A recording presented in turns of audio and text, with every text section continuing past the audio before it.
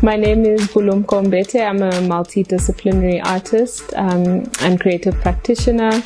I'll be participating in the Turbine Art Fair um, with Ms. Simone between the 27th of July until the 30th of July. The body of work that will be at the Turbine Art Fair is um, kind of a combination of the different themes I'm working with at the moment, which is in in part kind of pushing my experimentation and exploration of certain materials, textiles, um, looking at different craft techniques such as weaving, um, natural dyeing. Um, so the blanket itself looks at um, Mm, the, I guess the the history of my family looks at um, my relationship to the blanket, which is kind of prompted by this blanket being gifted to my sister and I by our grandfather, um, and I guess looking at his figure within the family, looking at, I guess, like his life and his life in relation to, I guess, the trajectory of the generations that came after.